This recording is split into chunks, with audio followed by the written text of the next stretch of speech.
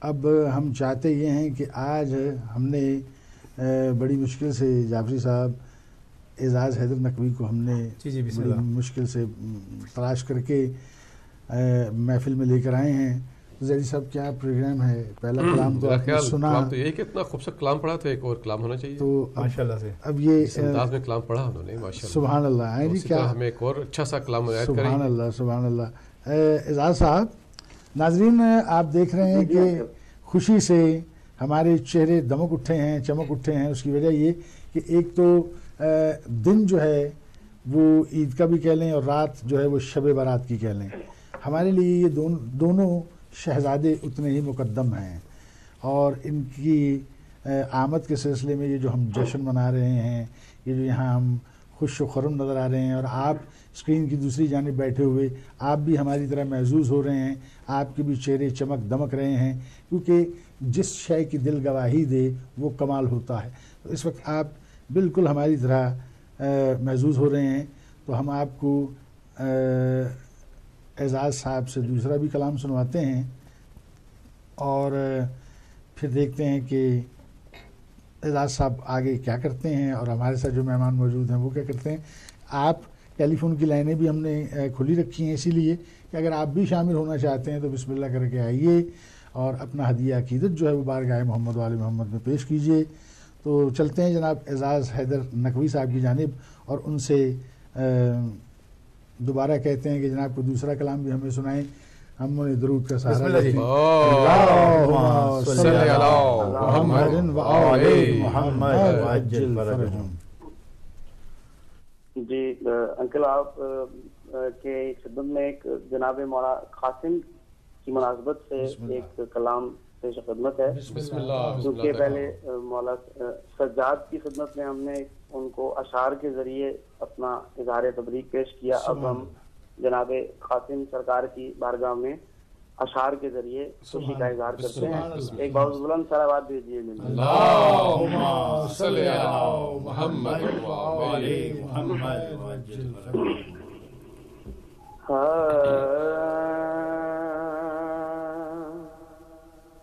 میں نے جب بھی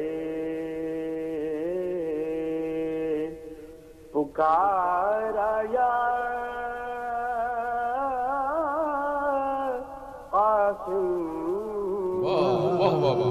سبحان اللہ۔ میں نے جب بھی میں نے جب بھی پکارا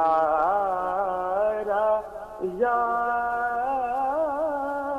قاسم سبحان اللہ۔ میں نے جب بھی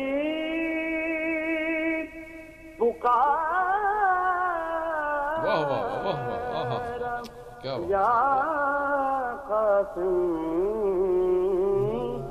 آ گئے مثل مرتضی۔ قاسم سبحان اللہ سبحان اللہ۔ سبحان اللہ سبحان اللہ۔ قاسم۔ آ گئے آ گئے مثل مرتضی قاسم واہ کیا بات ہے۔ آ گئے مثل مرتضی قاسم۔ میں نے جب بھی اور ایک شعر آپ کی نظر ہے کہ مجھ کو لکھنی تھی شابر کی مجھ کو لکھنی تھی مدح شابر کی مجھ کو لکھنی تھی مدح شابر کے میں نے کاغذ پہ لکھ دیا قاسم سبحان اللہ۔ قاسم۔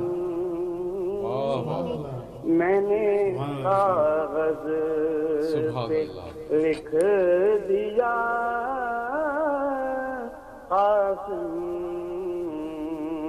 اور اس طرح سماعت کیجیے گا جو مجھے خود پسند ہے اس پورے کلام میں کہ بھیک دے دے جو فاطمہ قاسم بھیک دے دے جو سیدہ قاسم بھیک دے دے فاطمہ قاسم پھر لکھوں تیرا مرتبہ قاسم۔ پھر لکھوں تیرا مرتبہ قاسم۔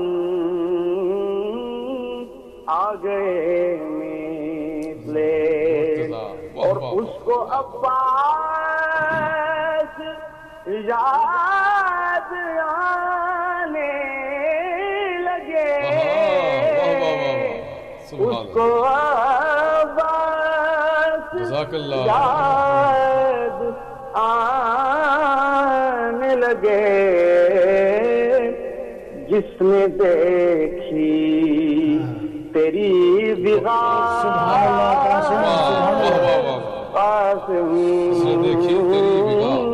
جس نے دیکھی تیری اور یہ جو شعر میں پیش کرنے لگا ہوں، یہ میرے مولا کی حدیث بھی ہے اور اس کی تشریح ہے سماج کیجیے۔ کہ تیرے دادا کا نام لے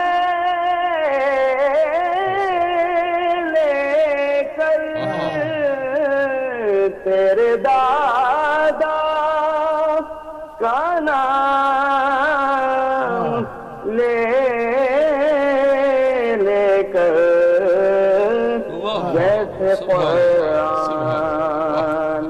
پڑھ لیا۔ سبحان اللہ، واہ، واہ، واہ، قاسم سبحان اللہ۔ آ گئے مثل مرتضی قاسم اور جناب قاسم کے نام کی تشریح سنیے کہ تو نے کر دی ہے خلد کی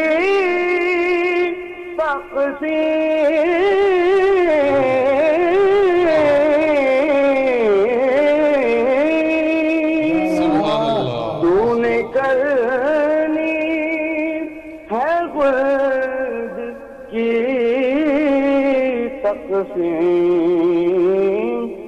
اس لیے نام ہے تیرا قاسم سبحان اللہ قاسم اس لیے نام اس لیے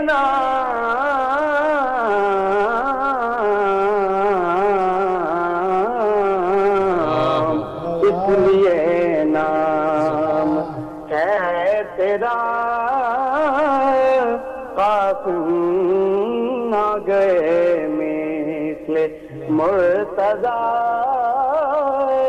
قاسم میں نے جب بھی پکارا جا قاسم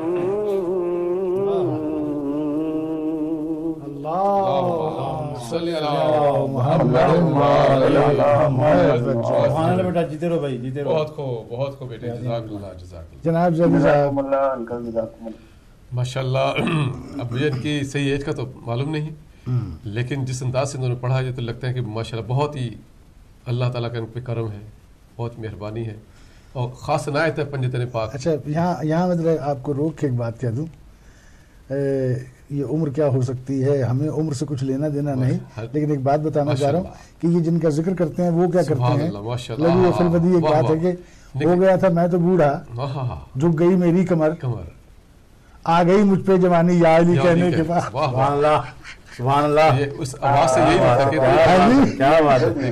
ہاں ایسی خیال ہے۔ تو یہ پختہ آواز ہے ماشاء اللہ پتہ چلتا ہے بہت ینگ آواز جو ہے۔ یہ اس کی دیکھیے یہ ذکر کلام کا یہ ذکر جو ہے یہ ذکر محمد یہ ذکر جوانی بخش دیتا ہے ہاں، اور یہ ایسا کریم گھرانہ ہے کہ اس گھرانے کے کسی بھی فرد کا ذکر کرو وہ جوانی عطا کر دیتے ہیں۔